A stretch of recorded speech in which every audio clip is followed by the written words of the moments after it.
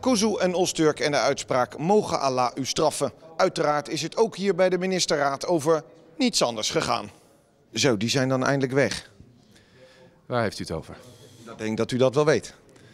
Iets met Zwarte Piet. Maakt u zich zorgen over de coalitiepartner, hoe dat nou gaat er allemaal? Nee, dit is een eh, interne eh, zaak van de PvdA.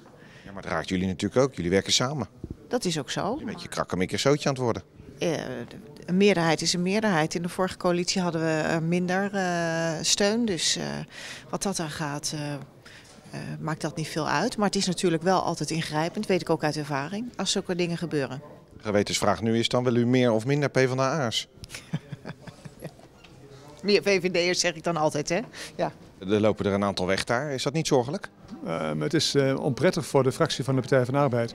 Maar ik kan me ook voorstellen dat het onprettig is als er gezegd wordt dat een, een, een, een minister die zich uh, bezighoudt met integratiebeleid, dat hij een uitsluitingsbeleid aan het uh, voeren is. Ja, dan heb je een groot probleem.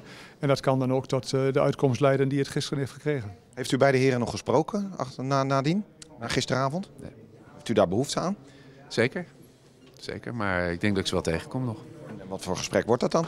Dat moeten we afwachten. Nee, maar van uw kant? Wat, wat zou uw eerste zin zijn? Dat weet ik niet. Dat, uh, dat horen zij dan.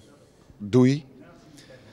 Nou, vind ik als, als eerste zin niet heel, uh, niet heel uitnodigend. Nee, ik, als ik ze tegenkom in de Kamer of elders, uh, dan zou ik zeker vragen van, hoe heeft dit allemaal zo kunnen gebeuren? Schaamt u zich niet een beetje voor wat er nou allemaal gebeurt binnen de partij? Nou, het is in ieder geval niet best. Uh, en ik vind het dus ook vervelend. Want het... Schaamt u zich er ook een beetje voor? Nou nee, ik schaam me er niet voor. Met ze... Dat zou u eigenlijk best kunnen doen hoor. Nee, dat denk ik niet, want het is wel politiek. Dus mensen hebben verschillen van mening. Als er zinnen worden gezegd als van uh, mogen u gestraft worden door Allah, dan denk ik heeft dat dan nog met politiek te maken.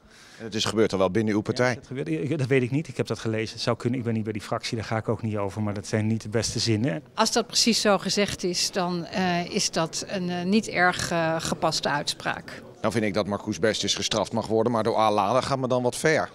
ja, ja, ja. U ook? Ja, dat zou wel ver gaan, ja, ja. Goed, ik, ik, ik heb het geloof in straffen van boven lang geleden verloren. Dus ik, in mijn wereld is het niet. Maar, maar wat een woorden hè, binnen uw partij. Ik, ik, las dat die zouden zijn gezegd. Uh, ja, wat een woorden binnen uw partij. Uh, ongebruikelijk, ja. ja. Het is wel een tijdje terug dat dat voor het laatst is gezegd in de PvdA. U heeft zichzelf binnengehaald met z'n allen. Die types. Nee. Die, die dit soort zinnen zeggen. Laat nou niet gaan, gaan natrappen. Uh, het is gelopen zoals het verlopen is. Een beetje boosheid ook wel? Of zit daar emotie bij überhaupt? Nou, dat is bij mij nooit merkbaar. Nee, dat vraag ik niet. Nou, wat vraagt u dan? Of daar emotie bij zit voor nu. Ik vind het heel jammer dat dit gebeurd is. Laat ik het daar maar op houden. U vindt het jammer, maar u bent niet boos? Uh, ik hou het op jammer. Vind ik nu het beste woord. U bent niet boos? Ik hou het even op jammer. U bent wel boos dus? Ik hou het even op jammer.